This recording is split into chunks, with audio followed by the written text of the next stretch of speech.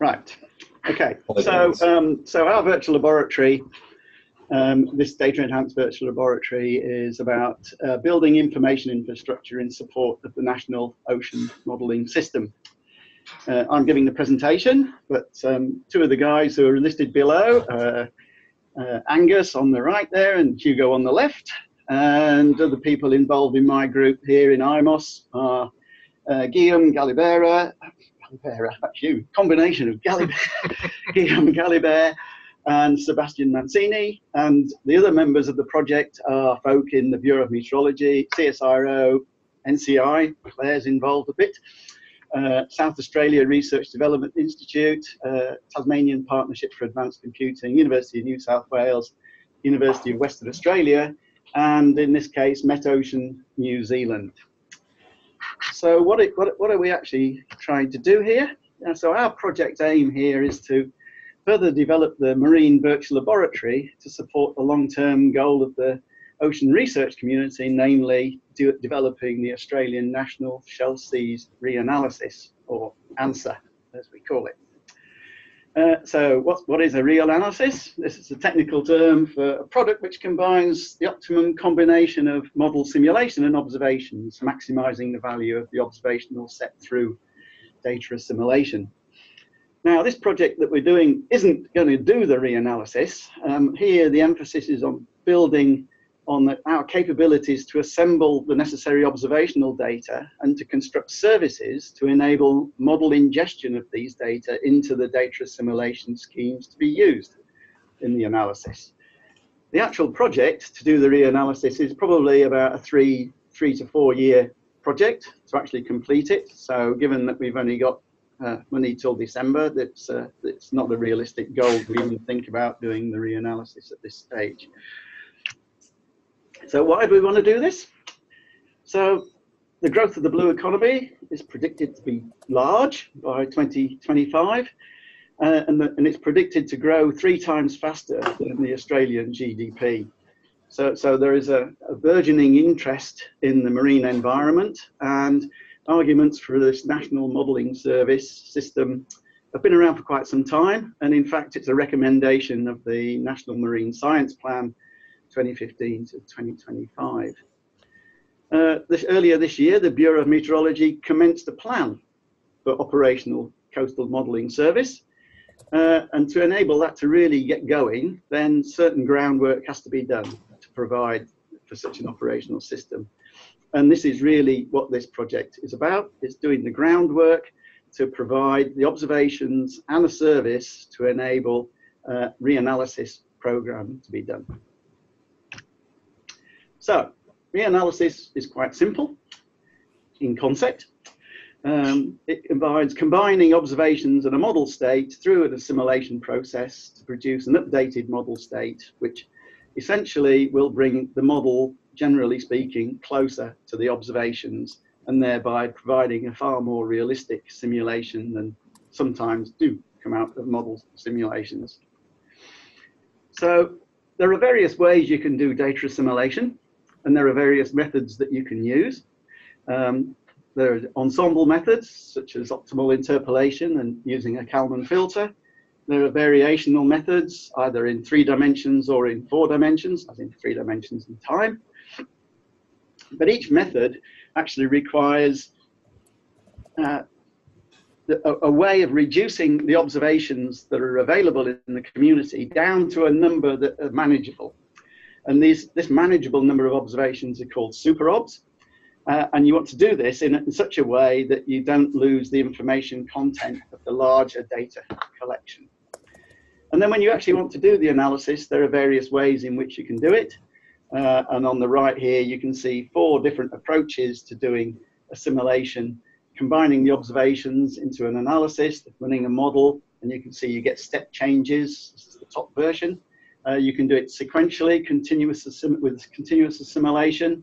Uh, and again, you get a continuous solution, but there are step changes in this. Uh, and then there is non-sequential intermittent assimilation when you put information in when you actually have it available. Or the bottom one, which is what we really would like to aim for, which is the non-sequential continuous assimilation to end up with a smooth solution from the results of the assimilation process. So in setting up coastal models, and this is what the Marine Virtual Laboratory actually does. The Marine Virtual Laboratory, as it stands at the moment, is a tool for uh, accelerating the development of coastal modeling studies.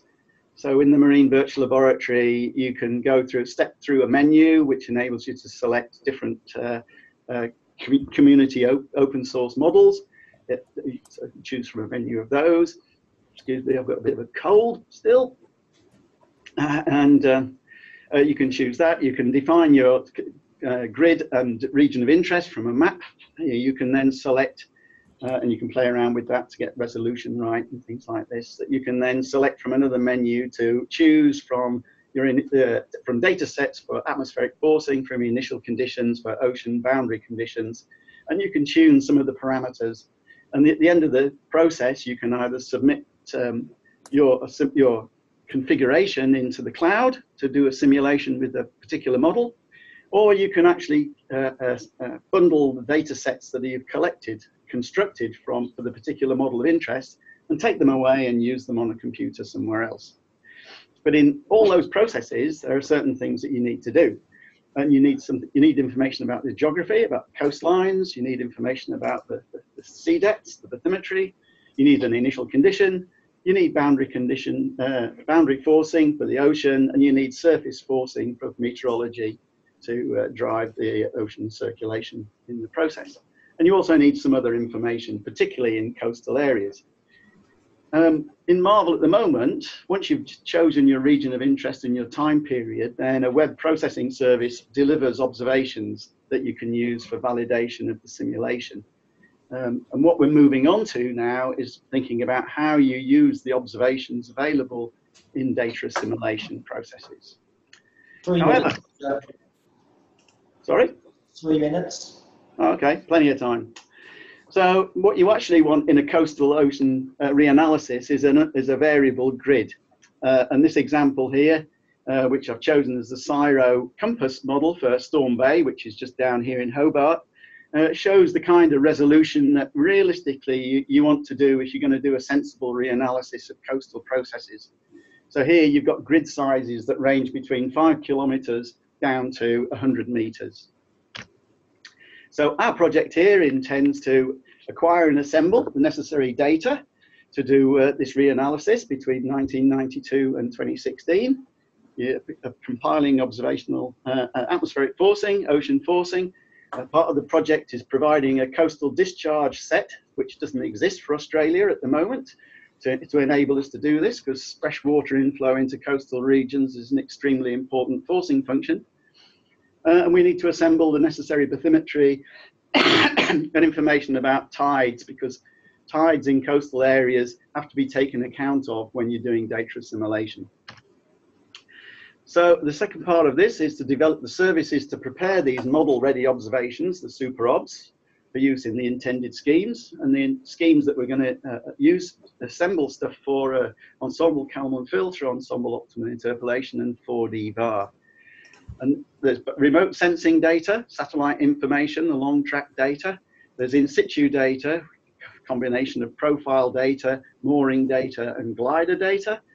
Uh, and the intention is to assemble all of this information uh, on NCI and to run a service uh, to, uh, to process those observations uh, to produce the super obs outputs for the necessary uh, inputs to assimilation runs. So we're in the process of looking at designing a GUI, a user interface, which will take a, a limited number of parameters. It will take the grid that you want your observations gridded to, take the time period of interest and the data cycle time that you want to adopt. You'll then choose a particular uh, assimilation scheme. You'll choose observation parameters from a, a list that we have. And then the observations will then be processed, and that's our job as the Australian Ocean Data Network, using either uh, web feature services or web processing services. We're still in the process of deciding how the best way approach to go. Then uh, all this then runs on NCI uh, using uh, code that's been developed by uh, Australian data assimilation scientists uh, one, one code for ensembles, one code for 4D VAR, and then your output from the end is these super obs formatted for the chosen scheme that you will then use to run your particular model. We're aiming for this service to be open, and this is something we're negotiating with uh, NCI at the moment as to how this can actually work, because a lot of these data sets are under different projects in NCI, and we want to bring them together and make them available to the community. Some of the key questions we've still to resolve, um, because of the involvement of New Zealand in this space, then we're, we're contemplating we have to extend this region of interest over to New Zealand. Um, we still, as I said, mentioned, we're looking at the best way of delivering the observations in terms of which sort of service would be appropriate. Uh, and in general, looking at how efficient can we make this production service for uh, the users. And then the latter parts of the project uh, say uh, two things really. One is about demonstrating the utility of these services through test cases which our modeling teams are in the process of defining at the moment. So it may be they will run different uh, simulation scheme to the one they currently use in their work to look at the comparison between the results, but also look at how efficient it is to construct these super obs compared to the way they do it manually at the moment. Uh, and then when, when we've compiled all those data sets for the 25 year simulation, then we'll look at how we add these data sets into MARVL as it stands at the moment, which will make uh, the utility of this service uh, much more attractive to our users. And I think that's it. Yes. Okay, thank you, Roger.